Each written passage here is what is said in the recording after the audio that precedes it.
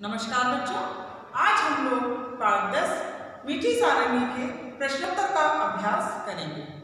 प्रश्नोत्तर के अभ्यास करने के लिए बहुत आवश्यक है कि हम लोग पाठ को बहुत ही गहनता के साथ पढ़ें। जब हम पाठ को गहनता के साथ पढ़ेंगे तो अगर हमसे बीच में से कोई भी प्रश्न पूछा जाए तो हम उसका उत्तर बहुत आसानी से दे सकते हैं। उसके लिए यही आवश्यक है कि हम उस पाठ को पढ़ें।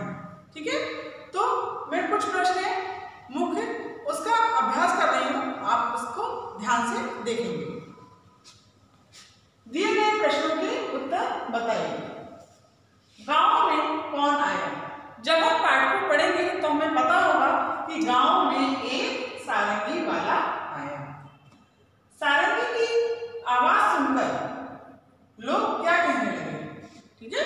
तो सारंगी को सुनकर लोग कहने लगे आहा कितनी मीठी सारंगी है रात में सारे लोग कहाँ सो गए तो रात में सारे लोग चौपाल में ही सो गए।